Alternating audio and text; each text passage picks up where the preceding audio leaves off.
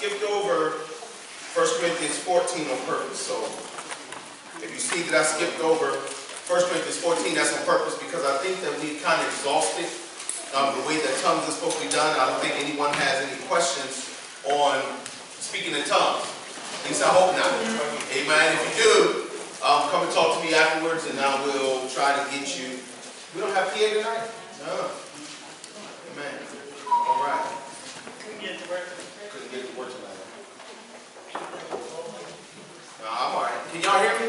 Yes, sir. I don't really need a PA system, to be honest with you. I'm sorry? I think we have. Yeah. Okay. First Corinthians 15 and verse number 36.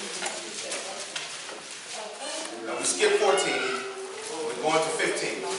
We would be on chapter 14 tonight, but chapter 14 is really speaking about tongues and the way that it should be done and all that good stuff. Amen. And like I said, I think that none of us really have any questions on speaking in tongues. Amen. I think we really hit on that enough. So you all know that the way that it's being done is not a biblical way. Amen. And they need to stop, but they won't because you know they're deceived. So anyway, 1 Corinthians 15, 36. You got it? But, I'm sorry, thou fool, that which thou sowest is not quickened except it die. Thou fool, that which thou sowest is not quickened except it dies. Maybe see. Father, thank you once again for this night. Thank you, Lord, for your goodness and mercy. We pray, Lord, that you would help us. Help us, Lord, to always stand firm on the truth of the Word of God. Help us, dear God, not to depart from it to the left or to the right. That, Lord, that we may continue to do the things that you called us to do. Father, we pray that you help us to stand in defense of the truth always. Never being apologetic, dear God, but standing on the Word of God.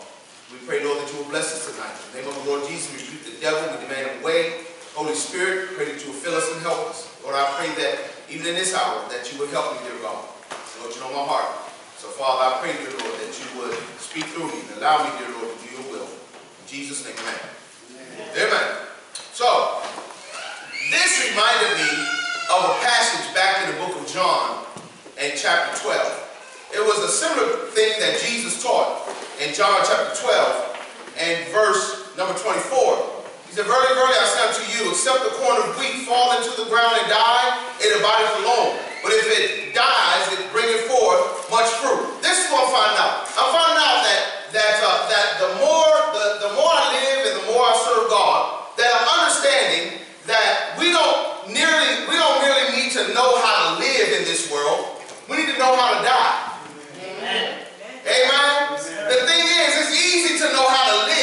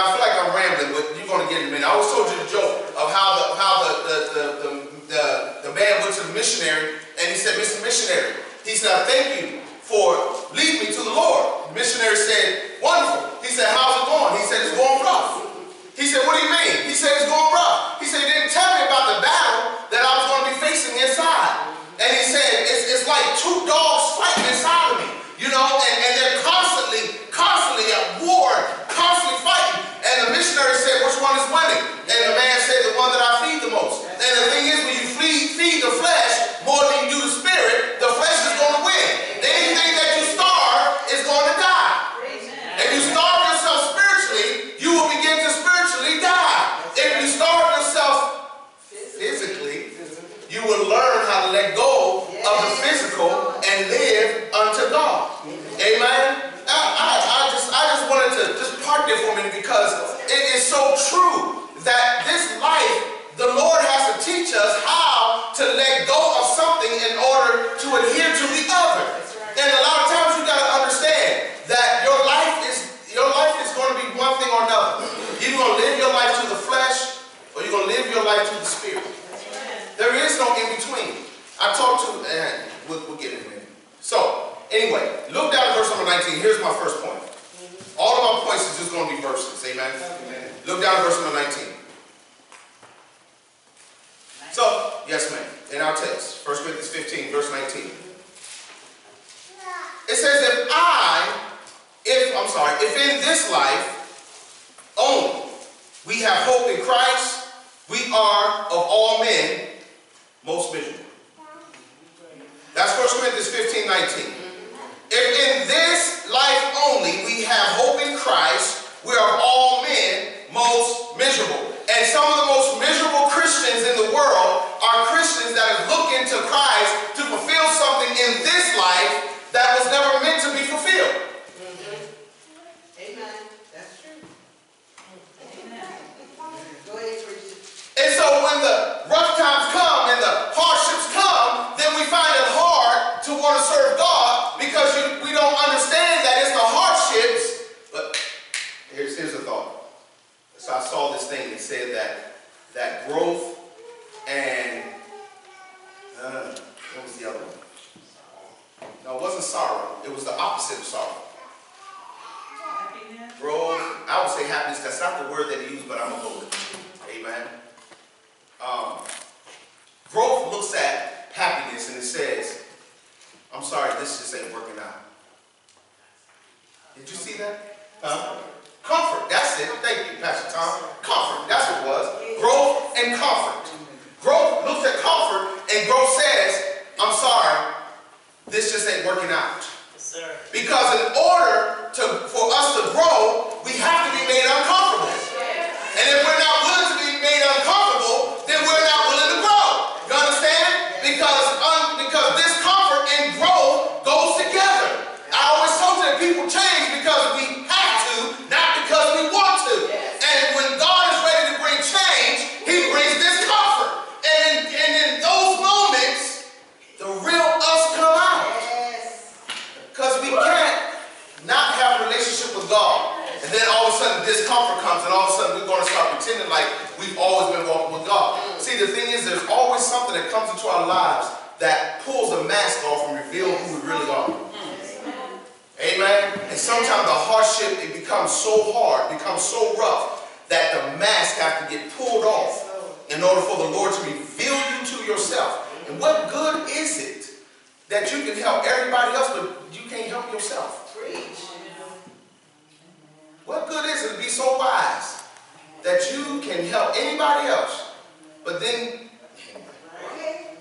amen. Truthfully, every one of us will stand before God. That's why Paul said, if we have hope in this life only, we're of all men most miserable. Why is Christian miserable? Why are we miserable? Because we live as if our hope is only in this life. We live for this world, for this life, without understanding that we're all going to stand before God one day. The Bible says that life is a vapor that appears for a little while, and we spend the vapor of our lives worrying about the things of this world. And before you know it, it's gone. That's right. You know, I often ask, I often ask, what if you knew that today would be your last day on earth? What if you knew? What if God revealed to you that after church tonight, you was not going to be here anymore? Would there be any regrets of the way you live this day, today, this day? Would you have any regrets of some things that you didn't do, of some things that you did do? Somebody once told me, they said, Brother Bruce, you have to live every day as if it's your last day.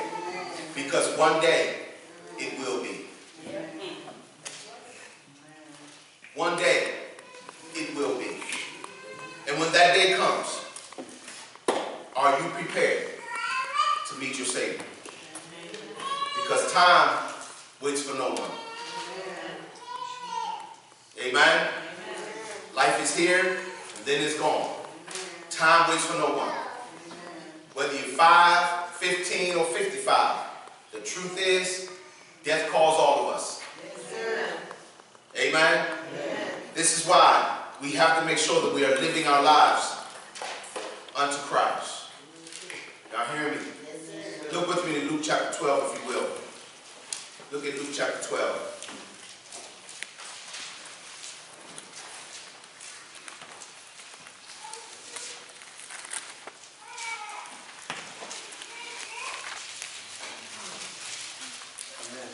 Look at verse 21.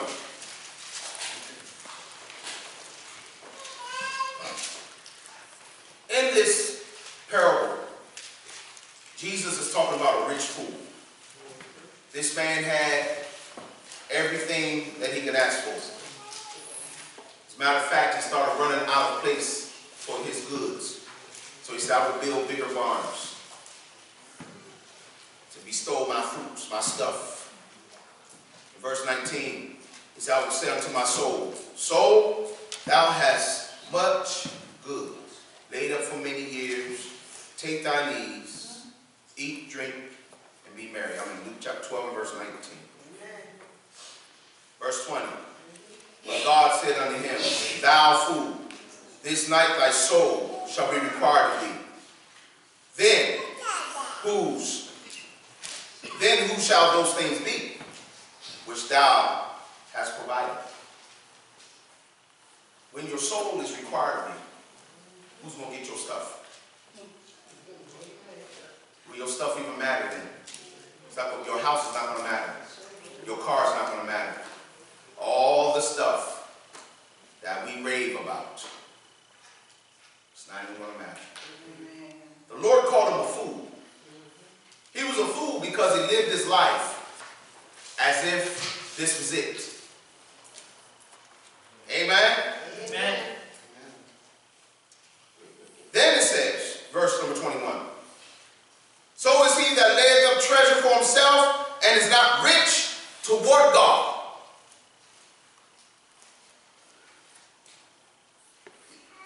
Got money. We're not rich toward God. Amen? As a matter of fact, I'm going to tell you the truth. I'd rather be broke Hallelujah. Yes, you better say and it. have a heart for God You better say than it. to have money and allow things to draw my heart away from Him. That's right. Amen. And so many people come to a crossroads where they have to decide is it going to be God or money because it can't be both. It's got to be one or the other. You got to render unto Caesar the things that are Caesar's and unto God the things that are His. It can't be both. And a lot of times you come to that crossroads, you have to decide which one is it going to be. Am I going to serve God or I'm going to serve money? Money is a good servant, but a terrible master. Yes, sir. Yes, sir. It's a terrible master. Amen. And everyone that has ever been led by money knows that money is a terrible master. That's That's right. right. Amen. Amen. I know my Carol's always say, Bruce, she's always say, favor is better than money. And I found that to be 100% true. God's favor is better than money. That's a fact. That's, that is a fact. If there was ever a fact, that is, that is a fact. So let's keep reading here in John chapter 12. I mean, I'm sorry, Luke chapter 12. So verse 25. And which of you, with taking thought, can add to his stature one cubit? If ye then be not able to do that which is least, why take ye thought for the rest? That's not saying quit your job. But it's saying, uh, let's keep reading. Consider the lilies, how they grow. They toil not, neither do they spin. Yet I say unto you, that Solomon in all his glory Come on now. was not arrayed like one of these. Yes. If then God so clothe the grass, which is today in the field, and tomorrow's cast into the oven, how much more will he clothe you, O ye of little faith? Seek ye not, and seek not ye what ye shall eat, what ye shall drink, neither be ye of what? Thou mine. Doubtful mind. This is what happens, isn't it? We have a, we begin to have a doubtful mind, we start fretting, and then all of a sudden we start making permanent decisions based on what, church? Temporary circumstances. Amen. Amen. So let's go to number two. I'm gonna get off of this.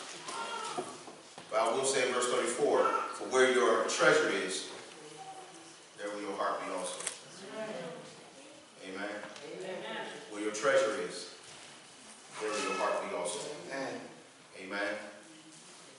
I'm gonna tell you, one of the greatest decisions that this older man now have ever made was coming to the place in my life where I said I wasn't gonna allow nothing to stop me from being in the service of the King. Amen. No job, no money, no nothing. That's right. Amen. And I'm telling you, that has been the greatest decision. Other than being saved and marrying my wife. That's the greatest decision that I made. Amen. Verse 31. You there? Back at our text, 1 Corinthians 15. Verse 31. He said, I protest by your rejoicing, which I have in Christ Jesus our Lord. I die daily. Now, in this verse, Paul is not talking about dying daily as far as his, um, as far as, um, you know, his, his, his spiritual walk. He's not talking about dying daily to himself. In this passage, Paul is actually talking about the fact that in his travels and the things that he did, at any time, he could get killed. Paul realized that as he was doing what God had called him to do, that at any time, he could be called upon to give his life for the gospel. Now, I pointed this out because I need us to understand that no matter what happens, we have to be prepared to give our lives for the cause of Christ. And even when things happen, like in Paul's case, he really didn't know at any given day what was going to happen. But he didn't allow it to stop him. He didn't allow it to cause him to begin to doubt what God had called him to do. He still got up every day and did what God called him to do. He didn't allow nothing to stop him. And the truth is, many times the enemy plays with our mind because he tries to stop you from doing something before you ever start out on it. Usually while you are contemplating something. Y'all hear me?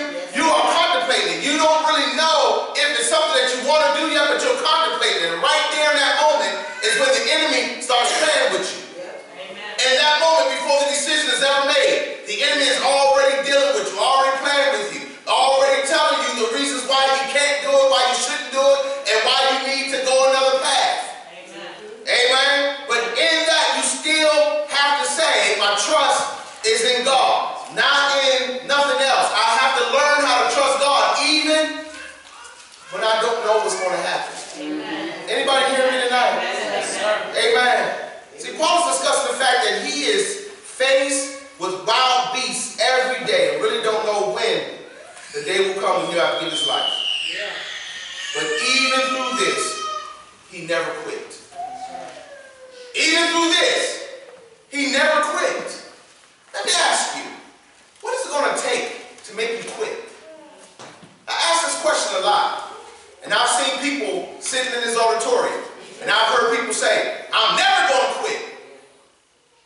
And I, I don't want to make it seem like my people leaving the church they're asking to quit.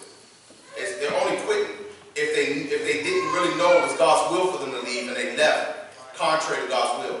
If anybody left according to God's will, God bless them. Amen? Amen. Amen.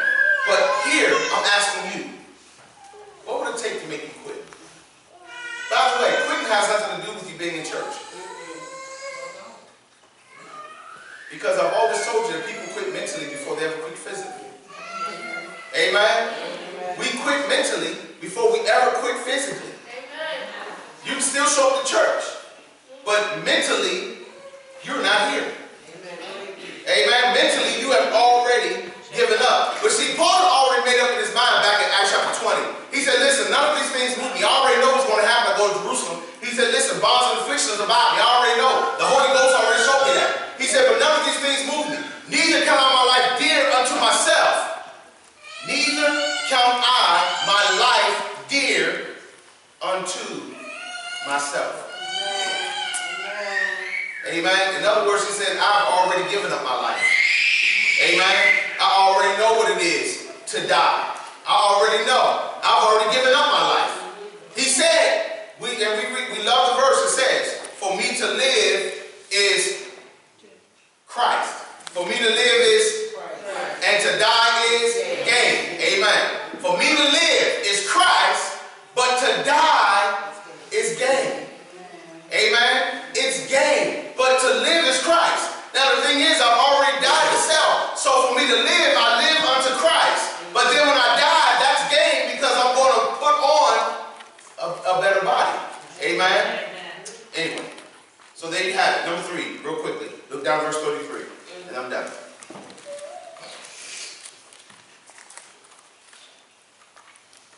Say amen when you- see it.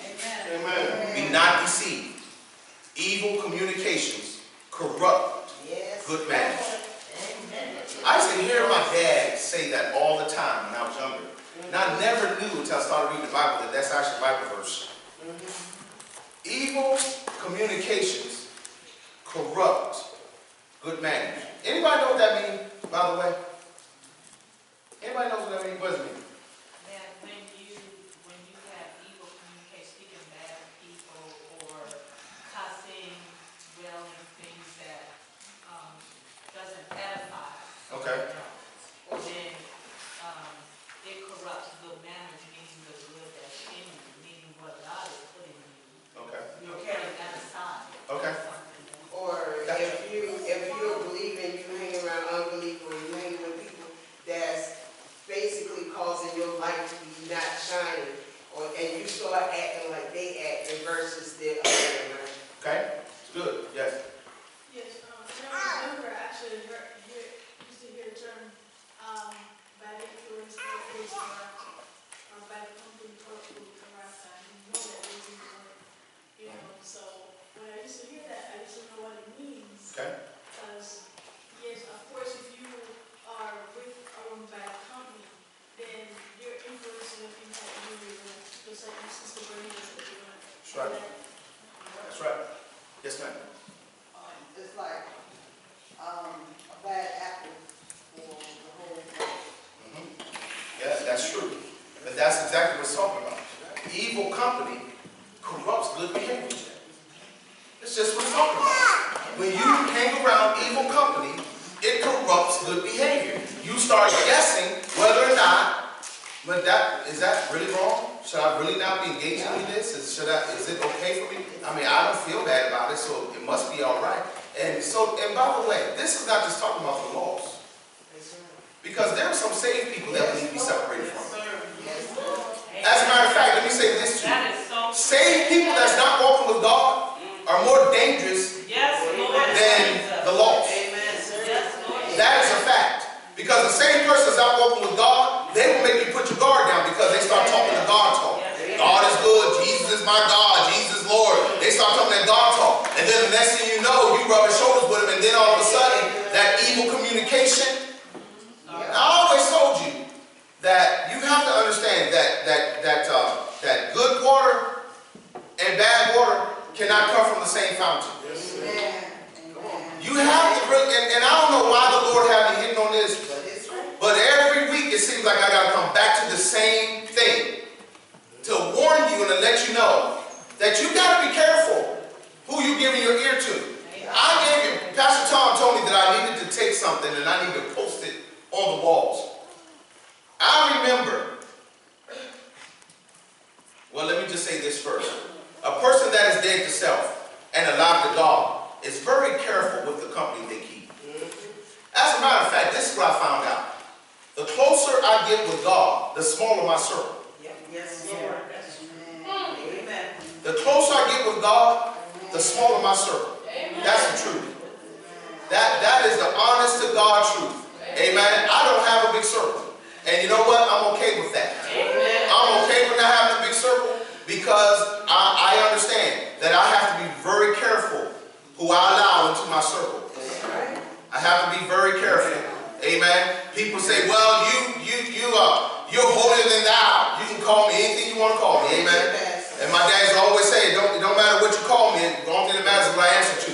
And, and so that's all right. You call me whatever you want. But the thing is, it's not being holier than thou. It is called being careful who I allow to influence me. I don't want to see things like other people see.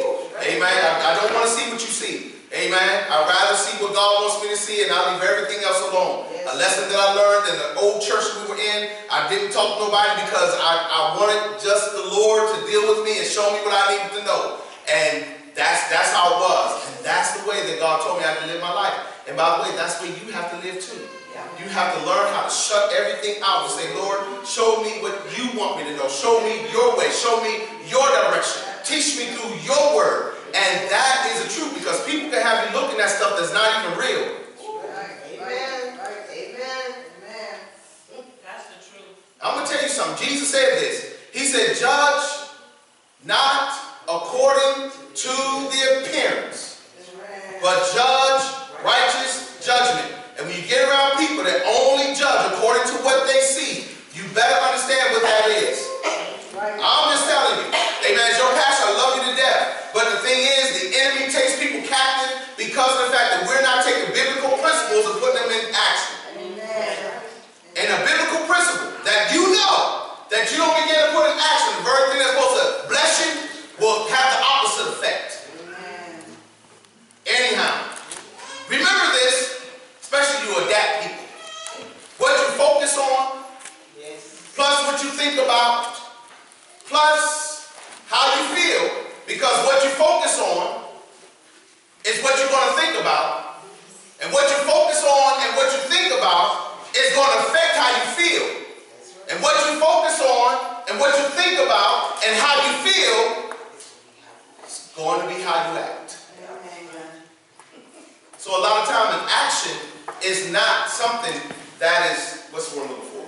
Separated, or it's not, um, ah, what's that word I'm looking for? Isolated. Your action a lot of times is not isolated, it's not an isolated event. A lot of time an action was something that was thought about, felt, and seen way before it ever turned into action. And so the thing is, if you see yourself begin to act a certain way, you have to go all the way back to what you began to allow yourself to focus on. Do you know this is why the Word of God is so important? Do you know this is why the devil fights you in God's Word? Because when my delight is in the law of the Lord, then what begins to happen is I begin to see things as God wants me to see. My delight is in His law, and in His law do I meditate, do I meditate day and night. So if anybody come to me with negative stuff, I can speak the word of God over me because the word of God is what I delight in. Amen, amen. Amen. And the only thing that can help me in those moments is God's word. Amen. Preach. Preacher, I don't have time to read the Bible. But then you're just too busy. You got time to eat? If you got time to eat, you got time to just read the Bible. Amen. Come on now. I ain't, I ain't got time to, maybe you need to fast and get God's word. Amen. Amen. And go skip a bill. I ain't got time to read the Bible. Man, if I had it down every time I heard somebody say, preacher, I just ain't got time to read the Bible. What? You got time to breathe, but you don't have time to read the Bible? Amen. Come on now. Uh, I ain't trying to broach you off. You got time to use the bathroom? Amen. Uh, I ain't got time to go to the bathroom. I can't go to the bathroom 'cause I ain't got time.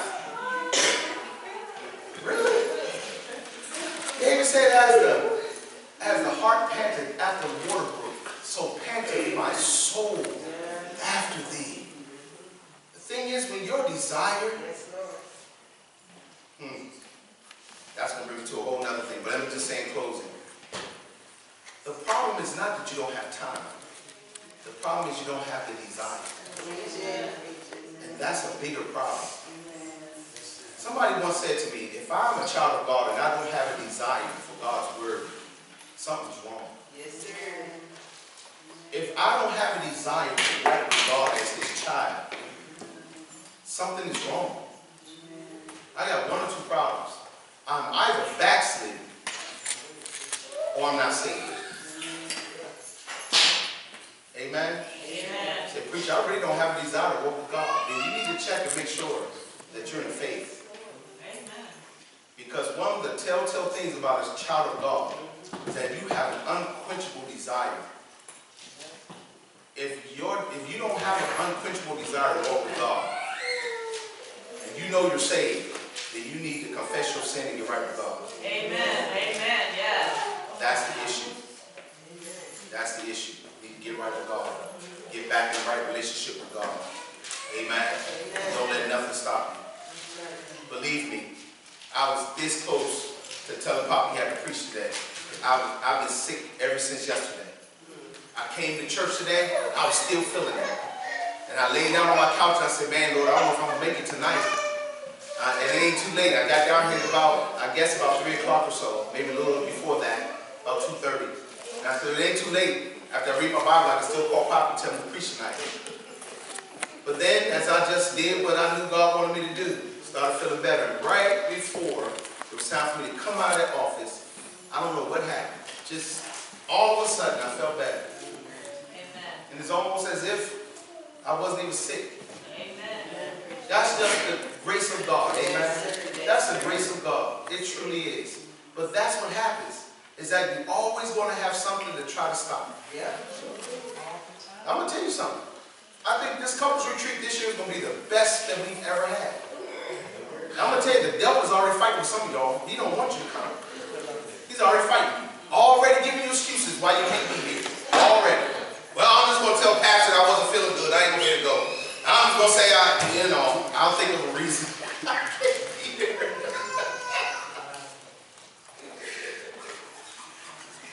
Anyway. you know, the truth is, I think this is going to be the best one. Because the enemy has waged war against our homes. And a lot of times we don't have the ammo to fight it off. And you get in a place, see, that's why people that, that use guns, that's why they love gun shows. Because it allows them to, you know, test it out. Tomorrow, this is going to be our gun show. Amen? We're going to come in here and get some ammo on how to fight the enemy. And really, it's not even fighting the enemy. It really is yielding to the Lord so that we can win our homes back. This is about opening up to everybody. Amen? Whether you're married or not, if you are head of a home, probably should be here. Amen. I'm just saying, but that, that's on me. Amen. Father, thank you for this night. Thank you for your goodness, your mercy. Help us, dear God, as we contend for the faith, as we stand for your word, as we do what you call us to do, dear God. We have so many opportunities. But Lord, help us not to be like the one, dear Lord, who had the opportunity to go in and see the goodness, but because of his unbelief, he was able to see it, but not participate in it. Father, help us, dear God. We pray that you forgive us of our sin, that you wash us under your shed blood, and help us, dear Lord, to be discerning about what we do and who we do it with. Bless us in Jesus' name, amen. amen.